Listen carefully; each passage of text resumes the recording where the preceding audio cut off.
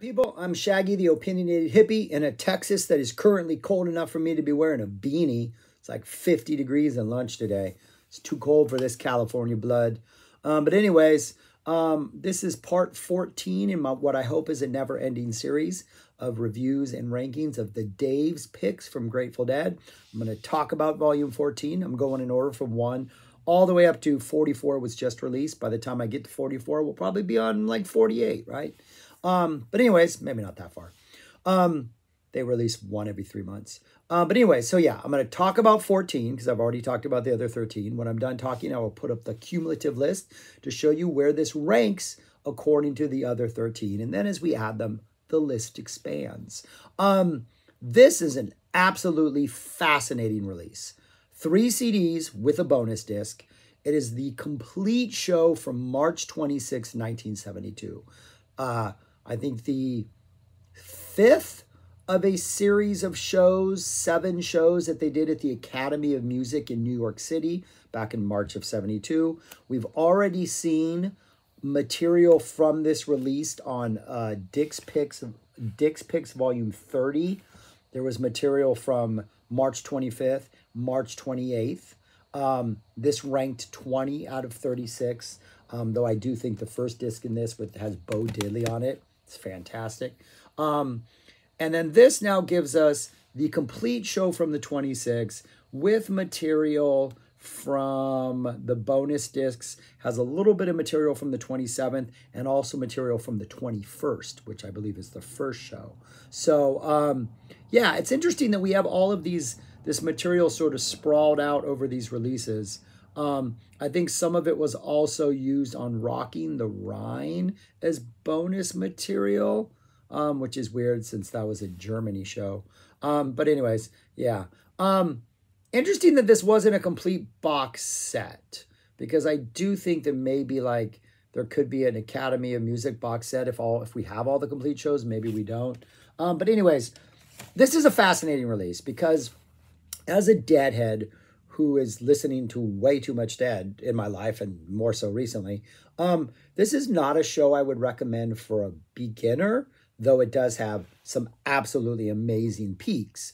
Um, but I think the more you are in the rabbit hole of the dead, the more this show you appreciate because it has moments of absolute perfection. Um, but it also, and those moments of absolute perfection are moments that I would describe almost as those moments when the music is playing the band to take a lyric from the music never stopped where it almost feels like there is this momentum that is pushing the band and they have no choice but just to keep jamming and like like they have to because the the energy is still going and they have to find a way to like match that energy. Um and there were a number of moments in this entire show in both the first set and the second set where it really feels like the idea of what the dead are creating is bigger than the dead and they have no choice but to like go with it. And then there are other moments, particularly in the second set, and I'm going to use the surfing analogy, and I've used a lot of surfing analogies um, for the dead, where it, there's like there's a lot of waves they think they're going to be able to catch and ride, but almost all of these waves like break too early or just turn out not to be the monsters they were hoping. So they have to like turn around and pedal back out and hope to catch another one. And there were moments throughout the second set where we get like four or five minute stretches, sometimes longer, where it's like, oh, let's try this wave. Nah, didn't work. Let's try this wave. Nah, didn't work. Let's try this wave. Nah, didn't work. Okay, let's just go into another song. Um, and as someone who's just been obviously listened to 13 complete shows and bonus disc, disc over the last 13 weeks, 14 with this one, plus all the other dead I just randomly listened to. Um, I really enjoy the sort of like the failed attempts to get something going because this era particularly early 1972 is when they're really starting down that sort of yellow brick road of like awesomeness where like for me 74 is like they arrive at oz and uh, there is no man behind the oz because oz is musical improvisational perfection. And so they were able to like in the course of their journey from 72 73 74 like figure things out. So by the time they hit 74 they could just be perfect. Um and so there's mistakes being made or chances being taken that don't pay off. but they're fascinating.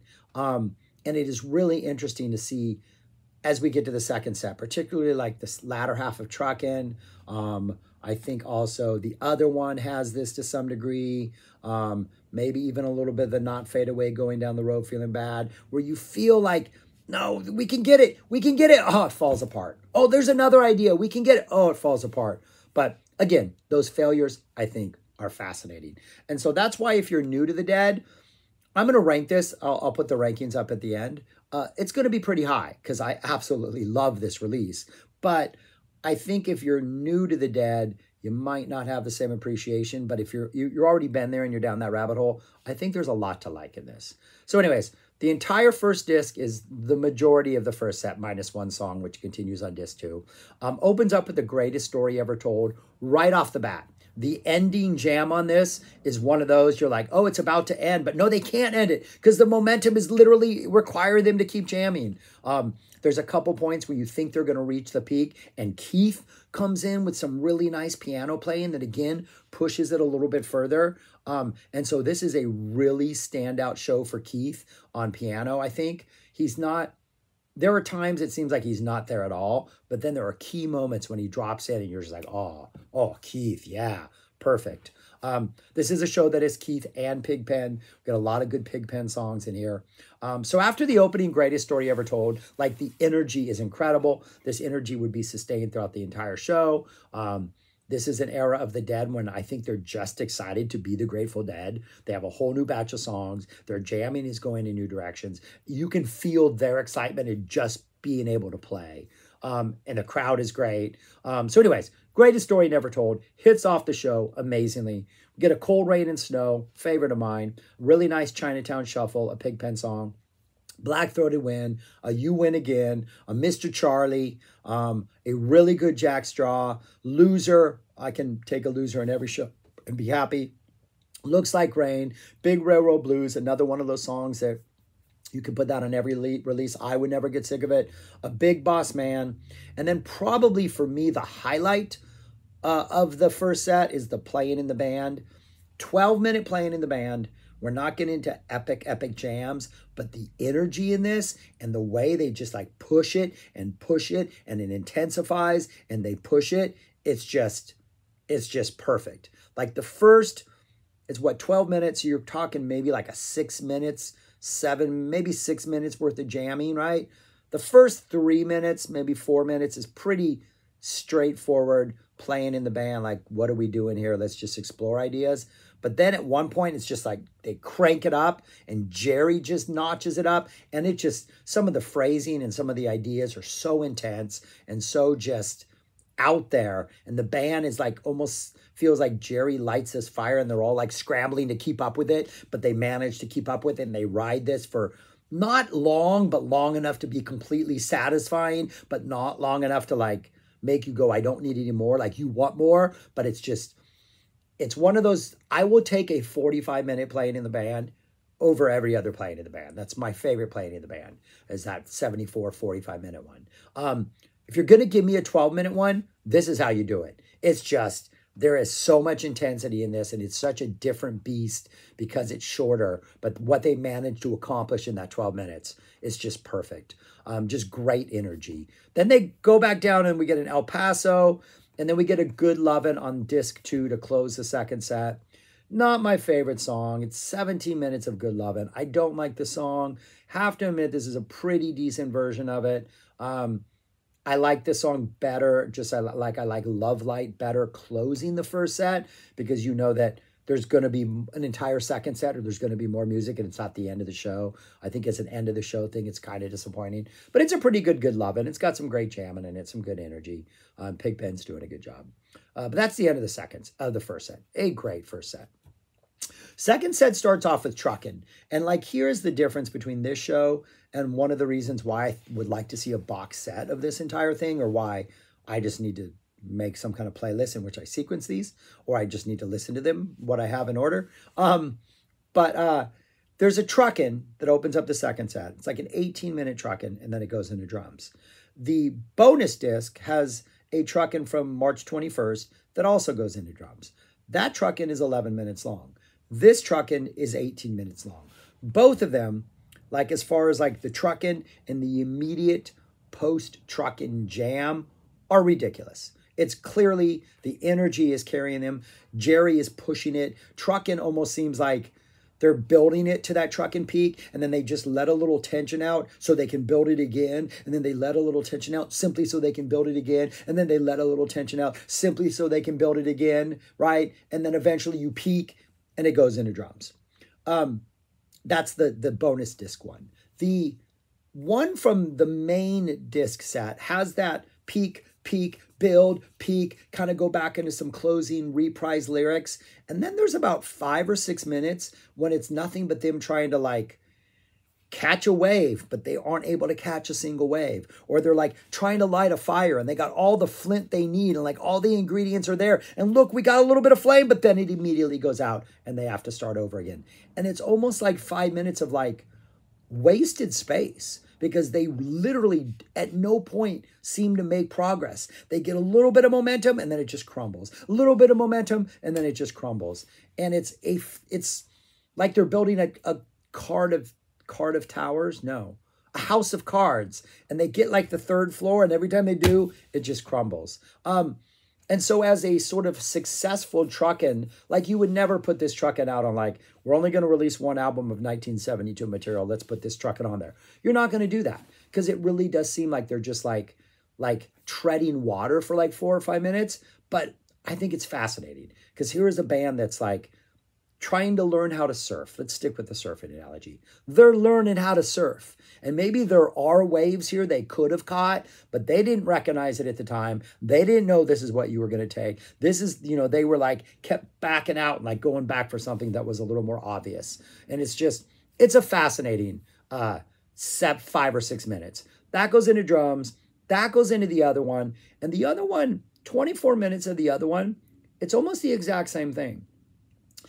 Really good other one. And anytime they're sort of in the other one pocket, which they go in and out of, where everybody's just like doon, doon, doon, doon, where they had the drums, the bass, everybody's locked into that groove. It's one of those things where like they found the wave and they're riding it and they're they're perfect. Like they're doing everything you want to do on a surfboard. You know, they're even getting a little cocky, a little flashy, maybe even doing like maybe they're even lying down for a while or maybe they're doing a somersault on it. They're they're like really fancy on that surfboard. But then when they abandon that like main dude or that main drive, again, it's like experimental time where it's not working. They're not able to get those ideas together where everybody's on the same page and they go forward. And so it's this fascinating, even more fascinating than trucking because trucking is just like we try, we fail, we try, we fail, we try, we fail. Let's go into drums. This is like other one, let's try something new. Ah, it didn't work. Try something new. Hey, go back into the other one for a little while. Oh, yeah, we got our energy back. Let's try something new. Ah, that didn't work. Let's try something new. Okay, let's hit the first verse. Okay, let's go a little spacey. Oh, let's try to build something. Oh, that didn't work. Let's go back into the other one. And it's a really just like a band willing to take its time, willing to explore, willing to experiment. It doesn't always work, but it's a really entertaining ride. And the best part, about 24 minutes into it, 23 minutes and 30, 23 minutes into it, it's just not working. They're trying to catch fire with a little more of a, almost feels like they might go into something like a feeling good, feeling groovy jam, or maybe even like a beautiful jam or something kind of different, right? And they drop into a me and my uncle instead. And that intro, when they first do the me and my uncle, one of my favorite things in there. Me and my uncle finishes. They go back into the other one. They finish it pretty strong. Um, and that's the end of disc two. Disc three is the remainder of the show. We get a really good Wharf Rat, um, um, a Sugar Magnolia, nice combination. Uh, we get a Stranger, Two Souls in Communion, my favorite Pigpen song. I like the lyrics. I like the performance. I like sort of the low key, kind of reflective nature of it. Um, and then we get a Not Fade Away, going down the road, feeling bad, Not Fade Away to close out the show. Um, and so it's it is one of my I think the most fascinating shows. The energy from from the first song to the last song is just high energy. You can tell the band is having a good time. It is just all around an absolutely like fascinating performance. Like I wouldn't rank it up there as one of their best, but this coupled with that volume 30 from Dave Picks, I think, which also has two absolutely incredible playing in the bands on here, um, on this one. Um, it's just a really that a box set of all those shows would be such a fascinating just to like just to track the material that they have from the oh and the bonus disc so the first show is right from the 28th the bonus disc has a bunch of stuff from the 27th no the 26th right and then the bonus disc yeah, this is the 26th. The bonus disc has stuff from the following night. You get a Bertha, Brown Eyed Women, uh, pretty solid China Rider, the Cumberland Blues, um, all high energy, well performed. And then you get the bunch of stuff from March 21st, which is that truckin', which is the shorter, more intense without the like attempts to jam, a drums. Another other one, which is pretty much they stick more in that pocket more often. There are a couple moments where they kind of go out there and experiment, but they're a little more successful because it doesn't feel like they're as far out there as they would be like five days later. And then a, a pretty strong Wharf Rat to close. But anyways, yeah, I just think this is an absolutely fascinating, fascinating show. And it's one of those that, like, I think you appreciate it more if you know where they were coming from in 70 and 71, where they would go to in 73 and 74. And this seven show run is just, from everything I've heard from it, it's just, it's the dead at their most, like, they are excited to be there. You can feel that energy. And it just makes for a really, really fun, interesting listen. But yeah, uh, again, love it. And this is where I would rank it. Jump to all the way up to number four, people. Look at that. I like this one. It is good. It is number four. It is a good show. It deserves to be there. I would say those top four are almost like must haves in the Dave's Pick series. Um, the only two that I think are a little uh, are those bottom two, which are solid, good shows, but I, I don't think those are things I'd recommend to newbies. Um, everything on this list is good to great, but those top four are winner winners, uh, chicken dinners. So yeah, that's it, man. That's what I got to say. So yeah, that's it. Thanks for watching. If you have this disc or have thoughts on this or comments on this disc, or you know how you know how it works. But share, subscribe, like, comment, and most importantly, go listen to music, people. Go listen to all the music, people. Peace and stay warm.